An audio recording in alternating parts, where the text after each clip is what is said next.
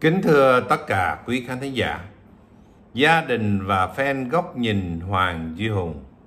Sáng thứ năm ngày 4 tháng 5 năm 2023 từ thành phố Hồ Chí Minh, nước Việt Nam.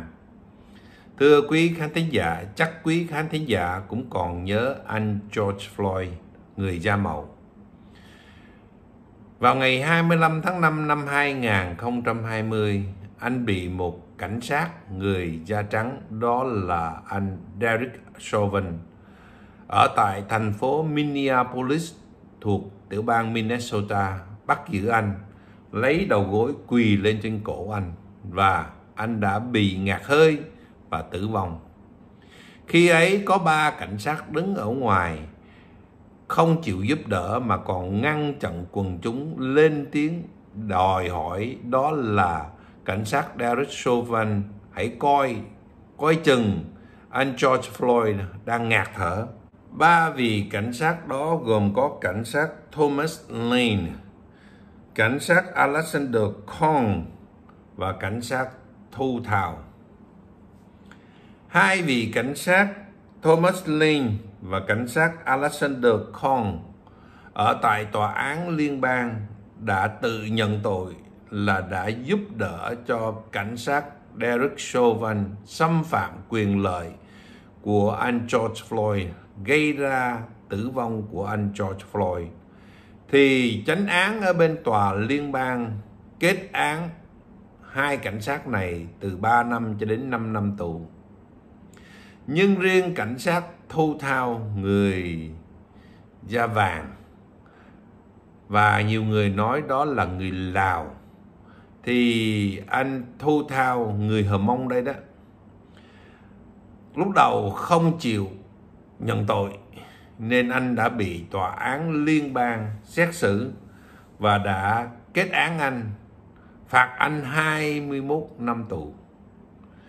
Nhưng mà ở bên Mỹ, một cổ nhiều trồng ngoài tòa án liên bang ra còn có các tòa án của tiểu bang của quận hạt Tiểu bang Minnesota không hài lòng với cảnh sát thu thao, nên họ lại đưa anh ra tòa về tội giết người không có cố ý. Anh có ra tòa và anh nói rằng, bây giờ anh đã bị một bản án 21 năm tù rồi, thì nếu có bị một bản án nào khác, chắc là sẽ bị kết án mà người ta nói là concurrent, tức là bản án đó sẽ cùng chạy không? Cùng chạy cùng thời gian với bản án. Thì anh nghĩ rằng anh uh, chắc là sẽ cũng không sao đâu. Thế vào tháng 10 năm 2022 anh Thu Thao cùng với luật sư của anh ấy nói rằng anh ấy sẵn sàng ra tòa nhưng không cần một bồi thẩm đoàn chỉ cần chánh án Cahill là vị chánh án đã xử anh ờ, Derek Chauvin trước đây. Vị chánh án này xem xét hồ sơ và luận tội anh và kết án anh thì được rồi. Thưa quý khán thính giả, ngày hôm qua, chánh án Khai Hill có đưa ra 177 trang về nhận xét vụ án này của anh Thô Tao và nói rằng anh Thô Tao phạm tội giết người cấp 2 vô ý vì đã không có làm tròn trách nhiệm của một người cảnh sát khi đã được huấn luyện như thế. Ở tại tòa thì người ta gọi anh thu Tao ra làm nhân chứng. Người ta hỏi anh, thế um, tại sao anh ờ, không chịu ngăn cản cảnh sát viên Derek Chauvin trong vấn đề mà quỳ đầu gối lên trên cổ của anh ờ, George Floyd? Anh ấy đã nói rằng là tôi uh, nghĩ rằng một cảnh sát viên 19 năm kinh nghiệm là sếp của tôi thì tôi tin tưởng vào ông ấy. Rồi cảnh sát uh, đã làm điều đó thì tôi cũng không có để tâm lắm. Bên phía của công tố viện hỏi anh thu tao đó là những người kia họ la ó quá trời họ muốn giúp đỡ anh George Floyd thế tại sao anh không có chịu giúp đỡ? Thì cảnh sát viên thô thao nói rằng, tôi là một cựu cảnh sát viên. Vai trò của tôi lúc đó là giữ đám đông, không có can thiệp vào cảnh sát thì tôi giữ đám đông. Chứ tôi cũng không biết chuyện gì thực sự xảy ra lúc đó giữa ông George Floyd và cảnh sát viên Derek Chauvin.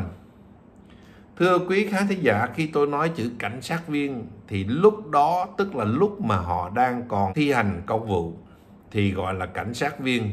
Nhưng sau sự kiện này thì tất cả những vị cảnh sát này đã bị thành phố Minneapolis, tiểu bang Minnesota khai trừ, không còn là cảnh sát nữa phải gọi họ là cựu cảnh sát thì đúng hơn. Nhưng khi tôi nói chữ cảnh sát là tôi nói đang lúc xảy ra mà họ còn đang thi hành công vụ. Thì à, cựu cảnh sát viên thô thao nói tôi thực sự không có biết chuyện gì xảy ra lúc đó. Tôi chỉ biết giữ đám đông đừng có can thiệp vào công việc của cảnh sát.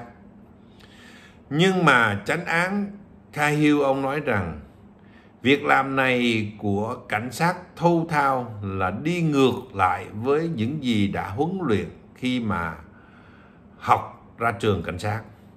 Cựu cảnh sát viên thâu thao đã không làm đúng với những gì đã được huấn luyện nên đã gây ra cái chết cho anh George Floyd mà không có cố ý. Đây là tội đại hình cấp 2 của tiểu bang Minnesota. Và chánh án Cahill nói rằng sẽ có bản án vào ngày 7 tháng 8 năm 2023.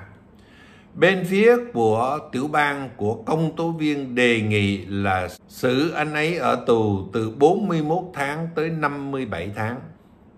Nếu mà có ở tù 57 tháng, tức là gần 5 năm đi nữa, thì chắc là nó cũng sẽ chạy cùng thời gian với bản án tù của liên bang là 21 năm. Nên anh thô thao chỉ sơ ý một chút thì mất đi quyền lợi của một cảnh sát nhưng còn bị kết án là hung thủ giết người tội đại hình cấp 2 về tội sơ ý. Ở bên Mỹ khi mà dính líu đến vấn đề hình sự, luật pháp của Mỹ rất phức tạp bị tòa án liên bang, rồi còn bị tòa án tiểu bang nữa. Một cổ hai ba chồng không có đơn giản chút nào hết. Người ta nói ở bên Việt Nam, bản án của Việt Nam nặng nề trong những trường hợp mà hình sự. Nhưng thưa quý khán thính giả, tôi về đây, tôi xem, tôi thấy những bản án của Việt Nam so với những bản án của Mỹ cũng còn nhẹ lắm nhất là những vụ mà uống rượu say lái xe. Thì ở bên Việt Nam này, mỗi lần mà cảnh sát chặn những người uống rượu say lái xe, thì những người này còn cãi nhau với cảnh sát. Có nhiều clip tôi xem tôi cười gần chết luôn. Cãi đủ trò, đủ chuyện hết. Ở bên Mỹ kiểu đó là họ cùng, họ bỏ vô tù ngay lập tức nhưng à, về vấn đề hình sự ở bên Việt Nam tôi phải nói nhẹ hơn bên Mỹ rất là nhiều. Ở bên Mỹ những bản án rất là nặng, sơ sớt một chút xíu thôi là 21 năm tù do bản án của liên bang. Rồi còn bản án của tiểu bang nữa cơ.